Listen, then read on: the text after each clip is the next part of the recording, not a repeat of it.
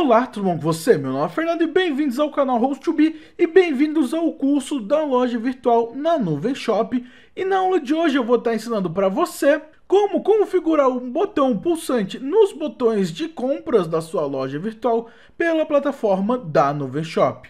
Mas antes, já deixe seu like nesse vídeo e se inscreve no canal para estar apoiando nossos tutoriais. Então a primeira coisa que você precisa fazer é estar acessando o painel da sua Nuvem Shop. Então para isso já no site nuvemshopping.com.br basta vir no lado direito superior no botão acessar e clicar para acessar com seu e-mail e senha. Então, já dentro do painel da Nuvem Shop, o que nós vamos fazer é vir no lado esquerdo, no menu lateral, vir na opção de personalizar e clicar no botão Minha Nuvem Shop. Então, basta clicar para acessar. Com isso, será aberto a página de layout da nosso tema.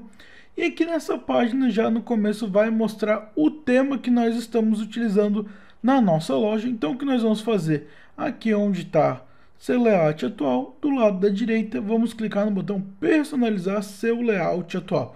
Então basta clicar. Com isso agora seremos redirecionados para a página de personalização da nossa loja. O que nós vamos fazer aqui primeiro é na página inicial que ele vai abrir aqui, nós vamos descer um pouco e procurar qualquer produto que a gente tenha na nossa loja.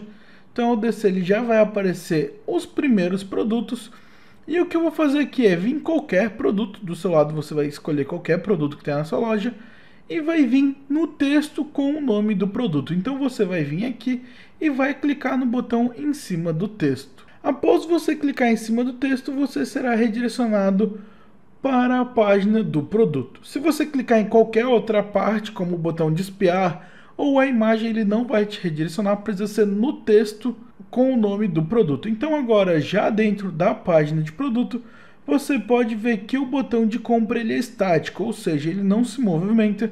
E o que nós vamos fazer é vir do lado da esquerda no menu lateral e descer até a opção de edição de CSS avançado. Vamos clicar e ao clicar será aberta uma parte com um campo para a gente preencher. Por padrão, esse campo vem em branco, então não tem nada escrito. Se não tiver, você vai na primeira linha, Porém, caso se o seu tiver que nem o meu, que tem vários códigos, o que você vai fazer é expandir o campo e descer até o final, onde você vai descer até o final, a última linha geralmente fica em branco, e depois você vai dar um Enter para pular, e vai ser aqui que a gente vai adicionar o código do botão pulsante.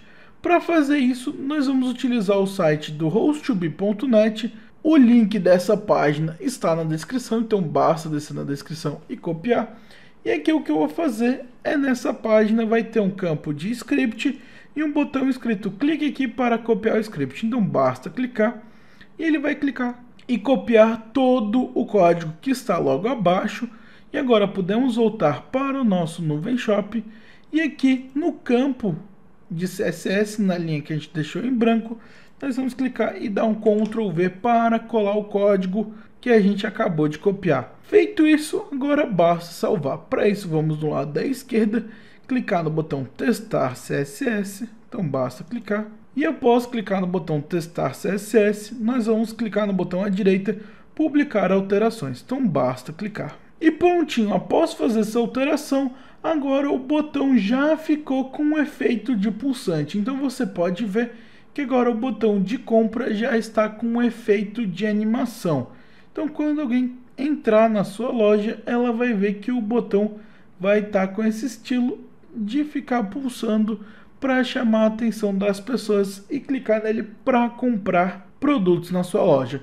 Então é isso, com isso agora você aprendeu como configurar o efeito de botão pulsante na sua loja pela Nuvem Shop. Então, essa foi a aula. Eu espero que essa aula tenha lhe ajudado. Se lhe ajudou e você quiser contribuir aqui com o canal e aqui com o curso, basta você clicar no botão abaixo, valeu demais, e fazer qualquer contribuição. Qualquer valor será de muita ajuda para continuarmos o nosso projeto. Nos vemos na próxima aula e tchau!